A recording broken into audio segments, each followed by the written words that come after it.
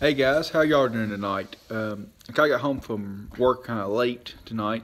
I was going to do a video on all my farm equipment that I think you need for a small farm, especially for a small hay operation.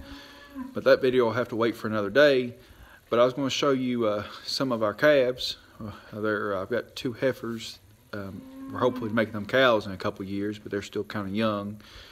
So I thought I'd show them to you tonight. What are y'all going on about? I think they're hungry. It's usually uh, their dinner time. Let's give them some hay.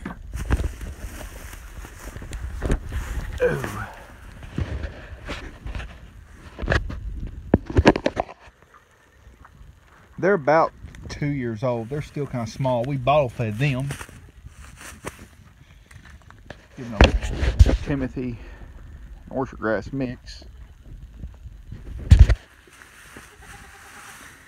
I actually got this feeder ideal from SSL Family Dad. It works out pretty good for them. You see they're going at it here. Give them a couple more flicks here.